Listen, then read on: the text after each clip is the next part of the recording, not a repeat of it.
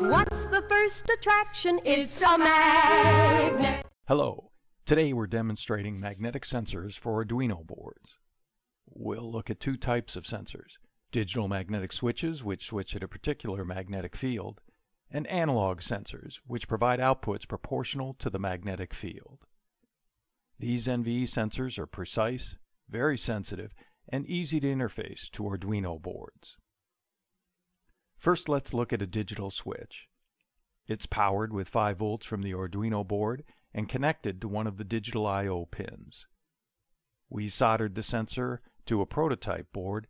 This board is only a quarter inch across.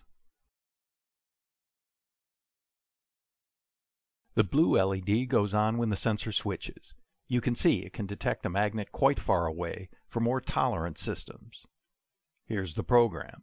There's not much to it, but a couple of things to point out. The sensor has an open collector output, so we turn on the microcontroller's pull-up resistor by writing a high to the input. And the open collector output goes low, not high, when it turns on, indicating a field is present.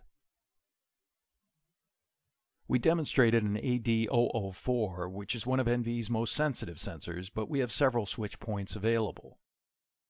Now let's look at an analog sensor which provides an output proportional to the field.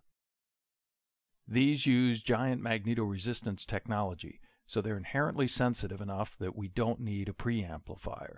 We're just running the differential output into two Arduino analog inputs.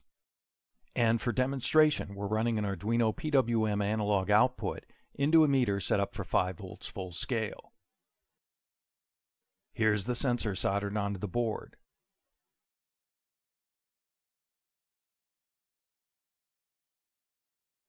We move the magnet around, and you can see it's really sensitive.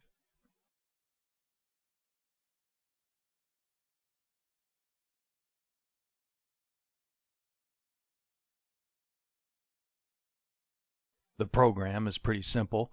We subtract the inputs to get the differential output and scale it for 0 to 5 volts. We've demonstrated an AAH002, but NVE has several versions. So there you have it, magnetic sensors for Arduino boards. Call, click, or email NVE for more information or to buy the sensors, boards, or magnets we demonstrated today.